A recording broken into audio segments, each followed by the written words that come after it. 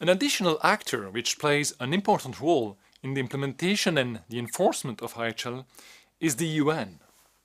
Many UN organs and agencies may be involved in situations of armed conflict and contribute to the alleviation of the suffering of the victims of those conflicts.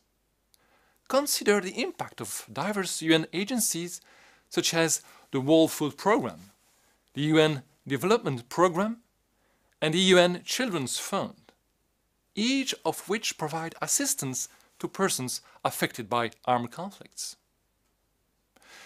Regarding more specifically the implementation and enforcement of IHL, it is well known that the UN Security Council may decide upon a variety of measures in case of IHL violations, which are binding if the Security Council decides that the situation amounts to an act of aggression, a breach of the peace, or a threat to the peace, according to, to its general powers under Chapter 7 of the UN Charter.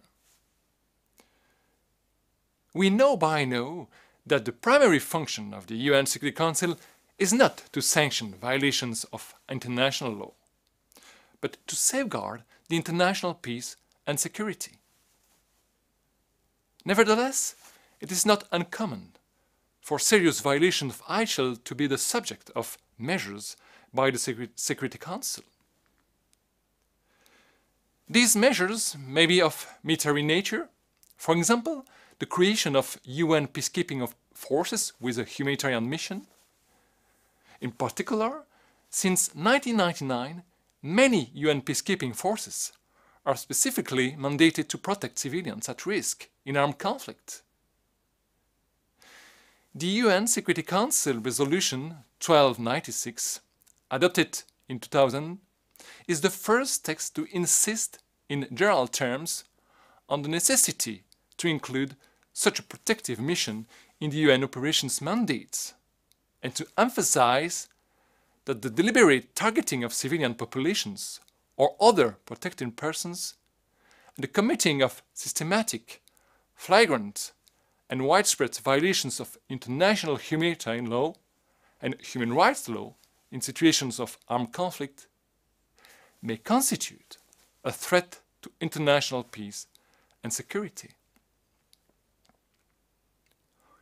This is actually a key aspect of a thematic issue that the UN Security Council has dealt with in the years since 1999. The missions authorized on this basis are specifically devoted to the protection of civilians in armed conflict and are therefore mainly based on upholding IHL. It is in this framework that the UN Security Council has adopted not only concrete measures in specific situations, but also general resolutions reaffirming the applicability of IHL rules to these situations. The UN Security Council is also empowered to adopt non-forcible measures.